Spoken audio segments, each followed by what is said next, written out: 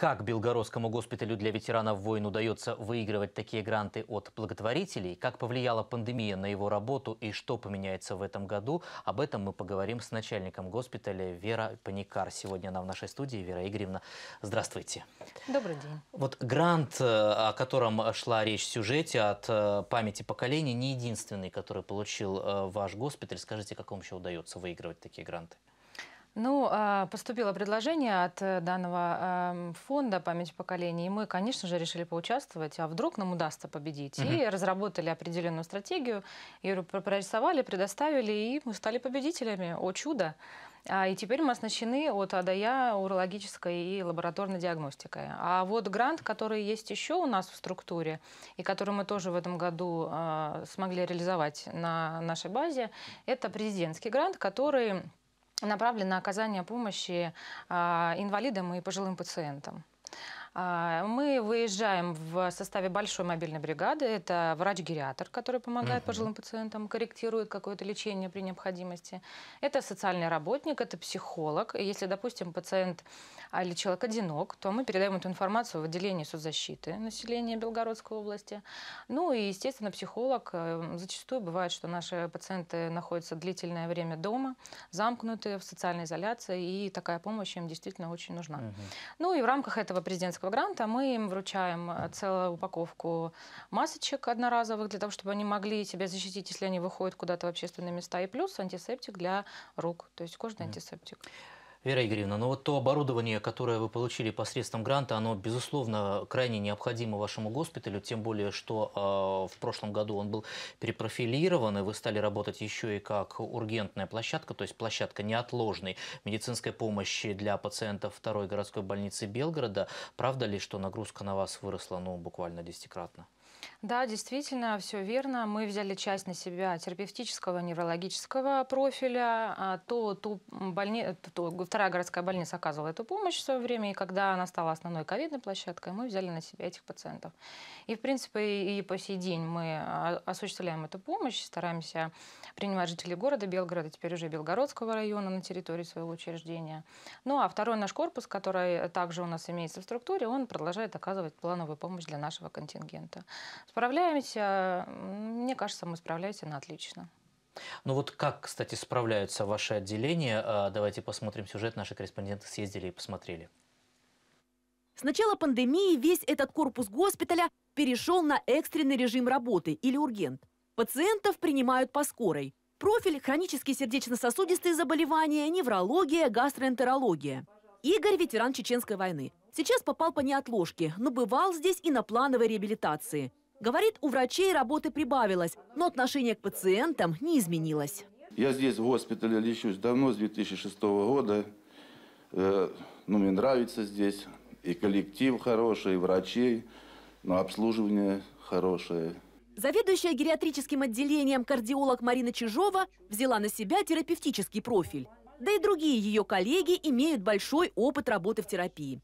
Поэтому с кадрами проблем не возникло, как и с оснащением. Надо было перестраивать схему работы. Ургент э, значительно отличается от нашей предыдущей плановой работы по профилю гериатрия. Но, однако, имеющиеся все в наличии у нас лекарственные препараты, диагностические, э, спектр весь исследований мы имеем на данный момент, чтобы оказывать такую неотложную помощь по профилю терапии. Во время пиковых нагрузок привлекали для дежурств терапевтов поликлиники госпиталя. А вот в неврологии своими кадрами не обошлись. Несколько медиков пришли на помощь из второй горбольницы. Среди них и зав. отделением Елена Батищева. Ей пришлось работать с медиками госпиталя, перестраивая их режим с планового на экстренный. И они справились. Хочу сказать, отдать должное сотрудникам. Они быстро включились в работу, быстро приобщились к новому, к новому графику работы, к новой специфике. И, в общем, за все время работы э, мы получили, наверное, обоюдное удовольствие от работы друг с другом. Когда госпиталь для ветеранов вернется к штатной работе, зависит от эпидемической ситуации. А пока профильных пациентов принимает его вторая площадка в Новой Таволжанке. Наталья Войтенко, Евгений Кравцовский. Такой день на мире Белогорья. Вера Игоревна, ну работа вот в условиях площадки неотложной помощи действительно нагрузка очень высокая. Как вам удалось выстоять, работая в таком темпе? Ну, я думаю, что в первую очередь это профессионализм моего коллектива и, конечно, сплоченность. Ну, хотела бы еще отметить, это доброта нашего и отзывчивость нашего коллектива. Это замечают и наши пациенты, и всегда это замечают, и очень благодарны за это. А все-таки тяжело работать, когда ты в плавном режиме работаешь на течение 10-20 лет, и тут перестроиться на суточные дежурства, это действительно довольно сложно. Я вижу, что уже нарастает определенная усталость у коллектива. Но каждый раз я их благодарю, и сейчас, пользуясь случаем, хочу сказать большое спасибо своему коллективу, потому что действительно работа довольно сложная, это так и есть. А, ну, я думаю, что э, вообще, в принципе, когда человек идет э, в такую профессию, он должен для себя понимать, что иногда наступают такие времена, когда нужно собраться и помочь. Вот, наверное, наступил такой случай. Действительно, и врачам вашего госпиталя спасибо за это огромное. Но расскажите, а что ждет э, госпиталь вот э, в 2021 году? Какие изменения в работе?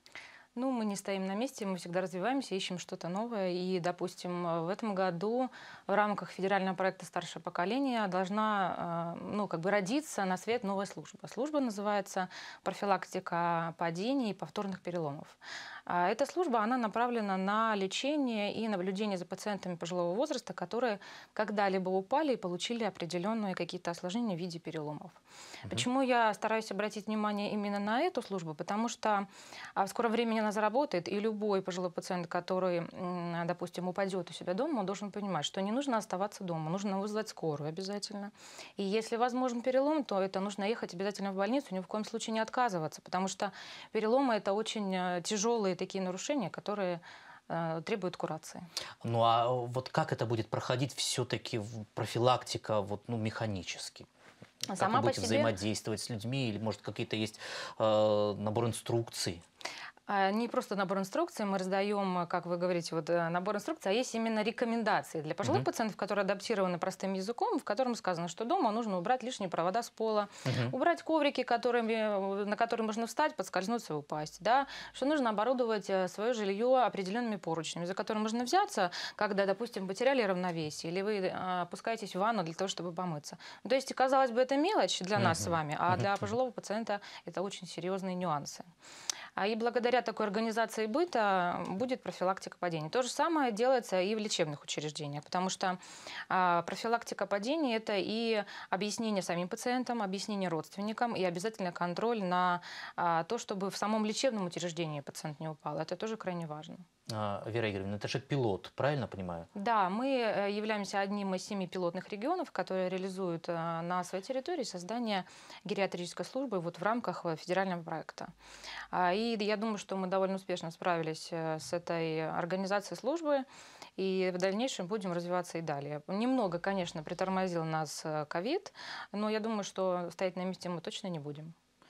Вера Игоревна, я желаю вам успеха в э, уже развитии этой службы. Спасибо за то, что сегодня пришли. Здоровья и э, профессиональных успехов вам и вашим коллегам. А я Спасибо. напомню, что у нас в студии была начальник госпиталя для ветеранов войн Вера Паникар.